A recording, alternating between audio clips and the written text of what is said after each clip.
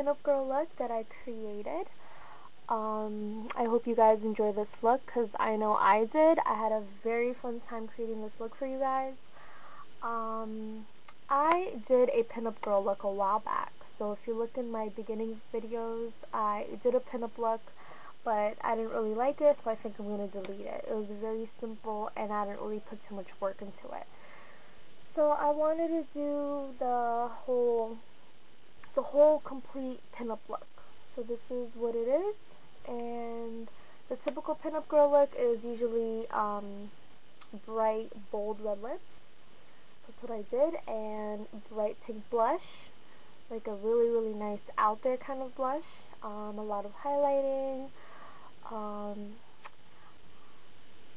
very thick eyebrows, and most importantly, the look that, the part that really completes the pinup girl look is the winged out black liner.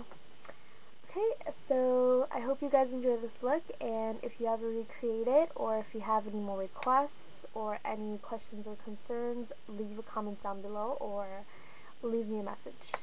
Okay, so if you guys want to know how to do this look, then keep on watching.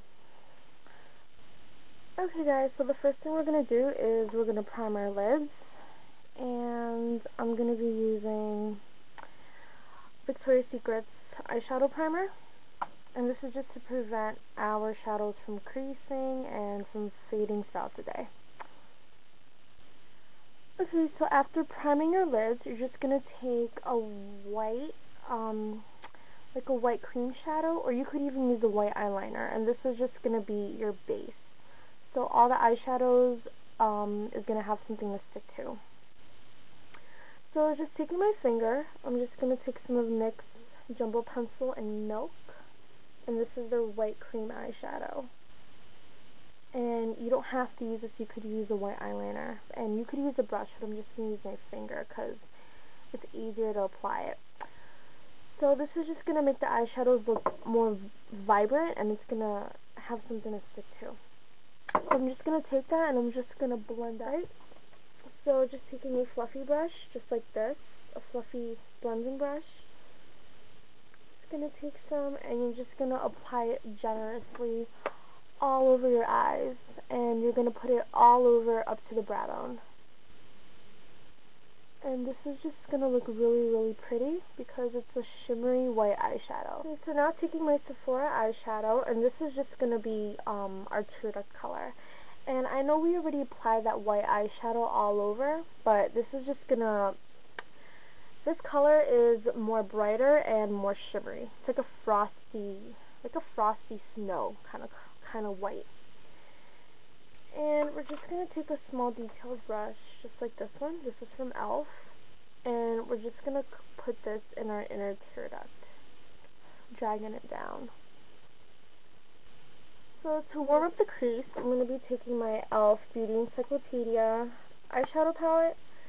And this one's in neutral, the Neutrals edition. And to warm up the crease, we're just going to apply um, like a nice kind of bronzy brown eyeshadow.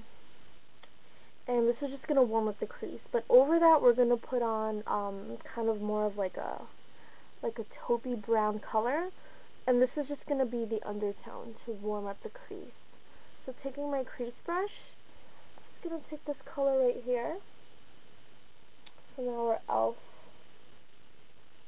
e.l.f. palette. And I'm just going to work this in the crease.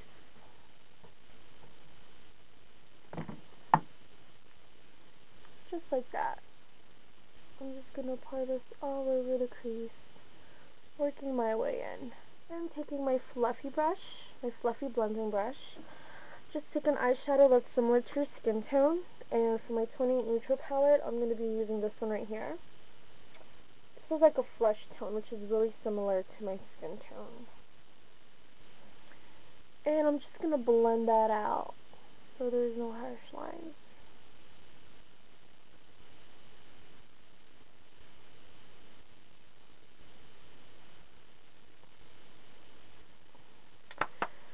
Alright, so now for the lid color and our and the all over crease color, the the color that we're going to use is Tempting from MAC. And this is just a nice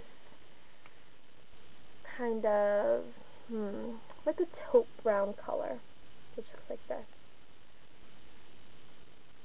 And it's called Tempting from MAC. And taking my crease brush, my fluffy brush, I'm just going to take some. And this is going to be the one brown color that we're going to put on. And as you see, we already put on the brown eyeshadow before as our undertones. So you're just going to put this all over the lid. So now that we applied our liner and winged it out, I'm just going to take um, small pencil brush and taking any black eyeshadow. Just go over the liner that you applied, and this is this is going to lock in the color for a longer staying power. Just go over and gently smudge it so it doesn't look too harsh. Just like that.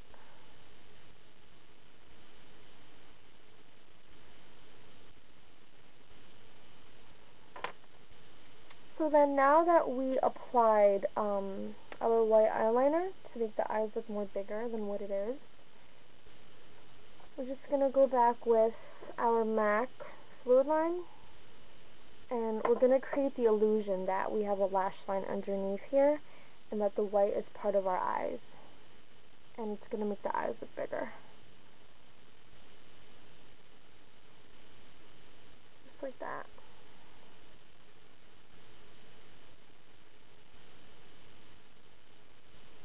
And I already curled my lashes with my lash curler I'm taking a length, since, since I'm not going to be using lashes for these, I still want to make my eye, my eyelashes look long and lengthening. So I'm going to take a lengthening mascara and I'm going to take MAC Zoom Lash. And I'm going to put that all over. Okay, so I don't have a red lip liner, so I'm going to be using this kind of nude pinkish color and this is from L'Oreal's Color Rich Lip Liner. And I'm just going to line my lips.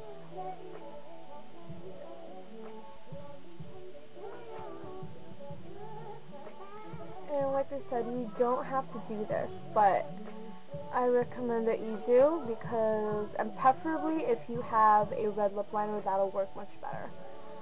And I never used to wear lip liner, but it's very important because it prevents your lips from bleeding, not bleeding, your lipstick from bleeding, and it just makes everything stay on. Stay on. And blend it in towards your lips, and fill it in too if you want.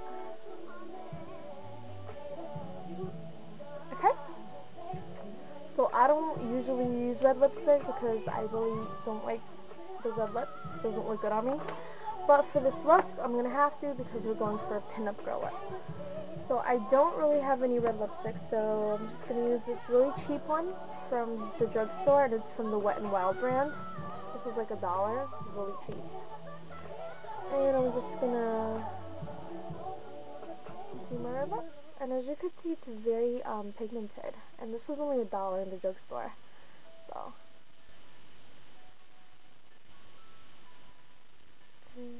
I don't know, I just don't like how I look with red lips. I'm more of like a nude kind of girl, so. A nude, pinkish lipstick kind of girl.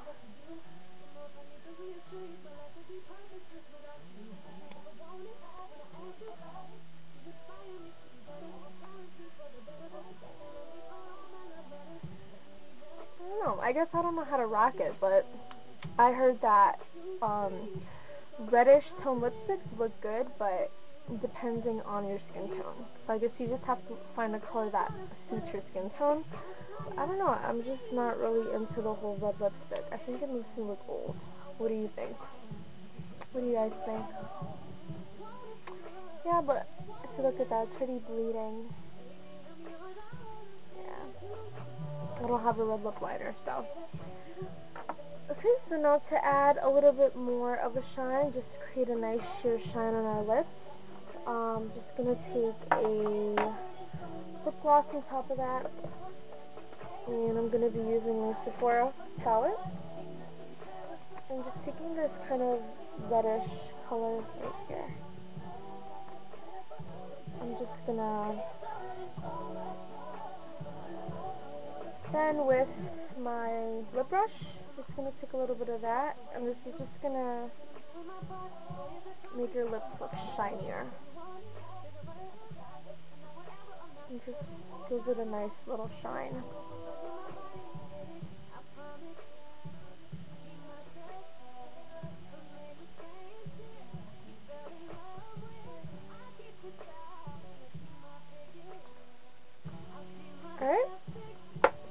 Now for the face. So to contour my cheeks, I'm going to be using my favorite, favorite contour powder. It's not a contouring powder, it's a um, blush from MAC, and it's blunt.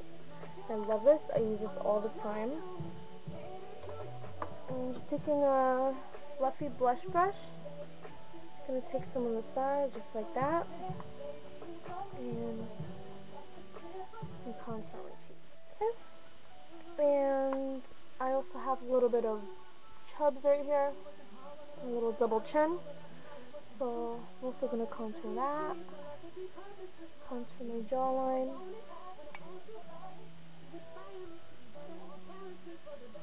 I love contouring. I have to contour. Think contour just makes a huge difference. Okay, then taking a small eyeshadow brush, I'm just going to contour my nose to make it look a little bit slimmer um, and smaller than what it is. And it's okay if you have this harsh line, because I'm going to use my finger to just blend that out.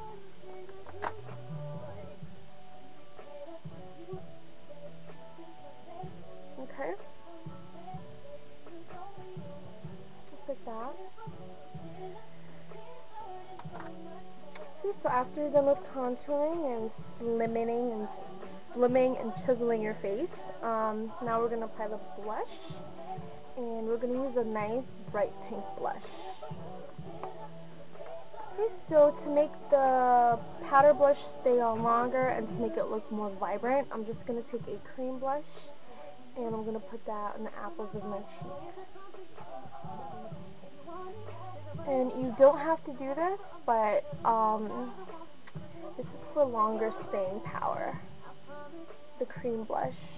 And to really lock it in, the color, we're gonna, it's like basically like foundation and powder. You know how you set your foundation with powder? Well, it's the same thing with cream blush. You're gonna put a, you're gonna put a powder blush on top to set it. Okay, so taking my Coastal Scents Color Blush Palette, I'm just going to take this very, very, very, very, very bright pink right here. I don't usually use this because it's too bright, too out there kind of pink. I usually use this baby pink blush right here. this one right here. As you can see, it's very pigmented. But just for this pinup girl look, um, yeah, these are very pigmented. If you guys have this Coastal Scents blush palette, tell me, tell me, tell me what you guys think because I love it. I think it's so pigmented. See, this is this one right here. Look how pigmented that is. Okay, so I'm just going to take this bright pink blush right here. And looking for my brush. Give me a second. Oh, here it is. Okay, so I'm just going to take a little bit because it's very pigmented like that. And I'm going to put this in the apples my cheeks. Wow. Look how bright that is.